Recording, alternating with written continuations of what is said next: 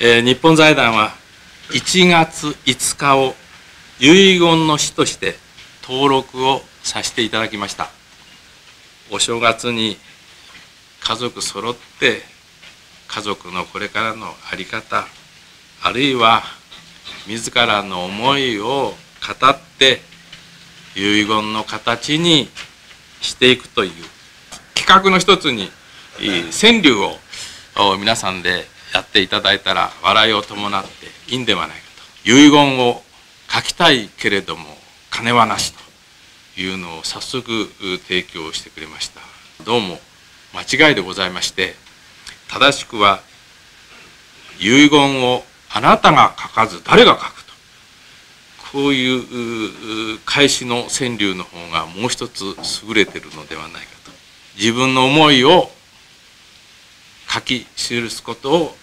始めてはいかがなものでございましょうか。遺言書の有効性ですが今回のアンケートでは遺言書の作成をきっかけに老後などの今後の生活全般に関する不安が減ったという調査結果が出ました。遺産分割の問題については多くのトラブルが発生しており遺産分割調停件数は約17万件で10年前と比較しますと2倍にも、え増えております。また遺産分割調停のケースの7割強は相続税がかからない5000万以下の案件であり資産家じゃないから関係ないとは、え言えない状況にあることも分かりました。また約6割が遺言書が大切だ必要だと認識しているにもかかわらず実際に作成に取り掛かっている率は3%という大変低い数字が出ております。キャンペーン概要についてご説明をさせていただきます。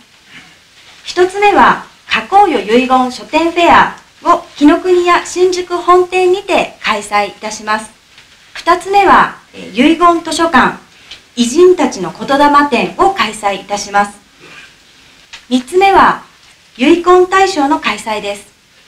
泣いて笑える日本一楽しい遺言書の書き方講座の開催も予定しております。国民運動として今遺言書の大切さについて知っていただくとともに家族が前向きに話し合っていただける機会を広めていきたいと考えております。